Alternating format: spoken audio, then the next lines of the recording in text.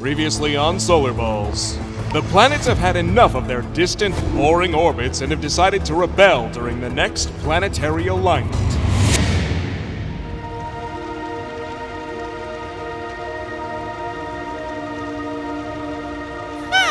This is this is so great. Everyone's just following the laws of physics, staying in their orbits. I can finally just relax.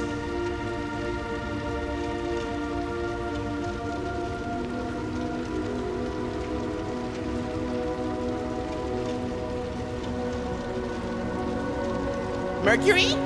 Hey, Mercury! Want to hear a joke? It's a good one, I promise.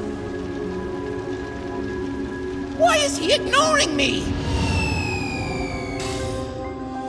Okay, everyone. It's almost time for the planetary alignment. Hope none of you have forgotten the plan.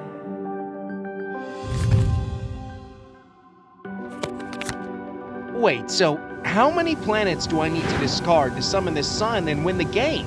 Three planets. You can read it on the lower part of the card. Okay, I see. Well, cool. Uh, who made this game? No clue. Luna thinks it came from the Big Bang itself. Uh, right, Luna? I'm sorry, what? I was asking about. Uh, forget it. Hey, wait. I- Isn't the whole planetary alignment like very soon? Oh, shoot, you're right. I wonder if everyone else is in position. Well, there's no real way of knowing. uh, why? You know, the speed of light and stuff. The speed of light? Yeah, dude. Light takes time to travel through space. When it leaves the sun, it takes like 3 minutes 20 seconds to reach Mercury. In your case, it takes about 8 minutes, and in the case of Neptune, Uh, t- 20 minutes? more like 4 hours. Four hours? How are we gonna rebel against the sun if it'll take Neptune four hours to notice the sign? Oh, everyone's gonna be off sync! Yeah, kind of a little issue. So in the game, dwarf planets are a shortcut to summoning planets, right? Oh no. Oh no, no, no. I already did tons of back and forths around the entire solar system. But we need you! Dude, I'm going crazy over here. What exactly are you asking me to do? To tell everyone, there's been a little adjustment. For the plan to work, the sun must see every single one of us getting out of our orbit at the exact same time from his point of view. Which doesn't make sense because of how light travels. Yeah, not really.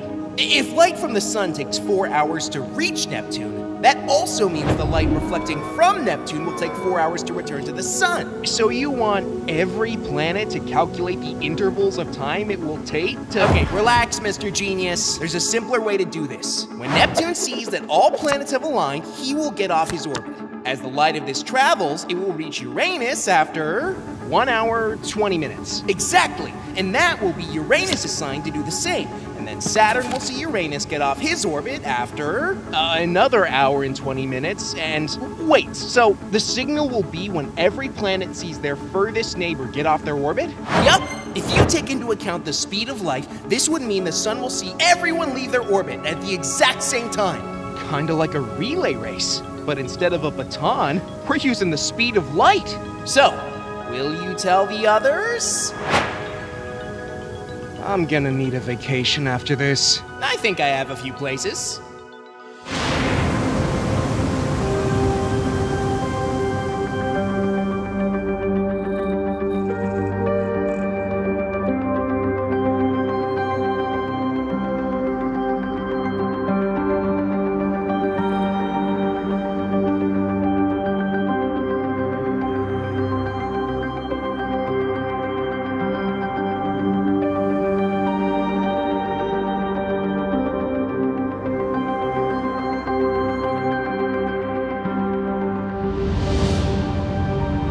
Speed, light, move, wait for.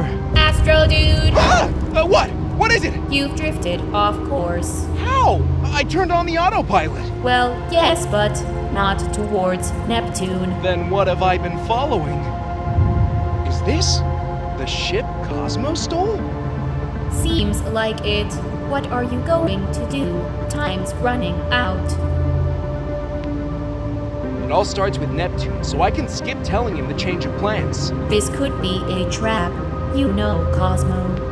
Only one way to find out. Hey guys, Alvaro here. I uh, hope you enjoyed the video. Um, so next week we're gonna be doing a compilation of these past few episodes. But uh, I want to let you know that we're gonna be revealing during that compilation the next two plushes that we're gonna be selling. Now, uh, which characters are these? Um, I will not say, but I think you can guess based on this. Oh, okay, maybe we shouldn't do that with these two plushes. Anyways, uh, I hope you're looking forward to the reveal, and uh, yeah, see you in the next one. Bye bye.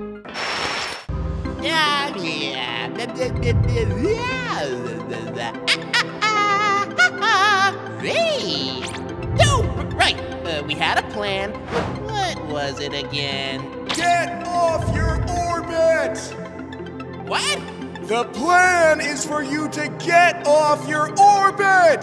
No, but, but the sun, well. Neptune, come on! Follow the plan! Just do it! All right, all right, and. Come on, mate. Come on!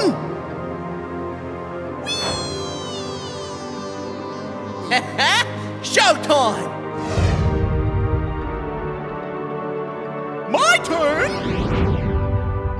It's working!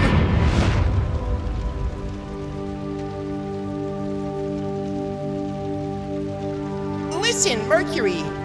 I. I know the things I do seem unfair.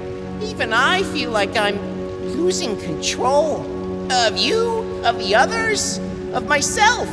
But you've always been honest, and you understand me better than most. I want. I need us to be on speaking terms.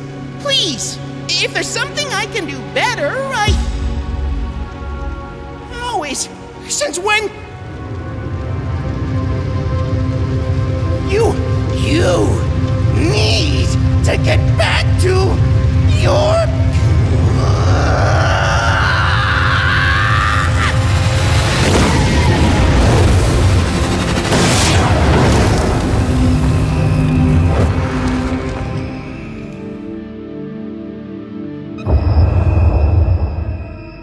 What was that?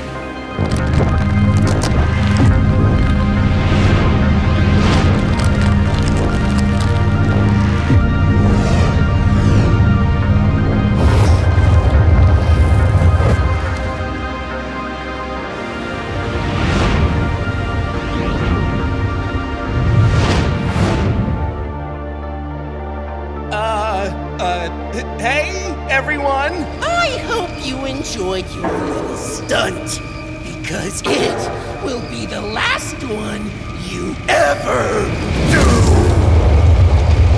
Yeah, whatever it is, it can wait.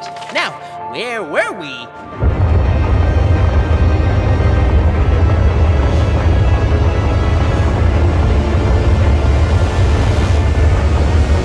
Whoa! What happened? I guess the sun got tired of his realistic solar system. Who knows what he has on his mind now? Anyways, as I was saying. Hey, uh, other dwarf planets. Ah, what do you want? Uh, who said that? My name is Sedna, and these are my colleagues, Quaoar, Orcus, and Gonggong. No way! More dwarf planets?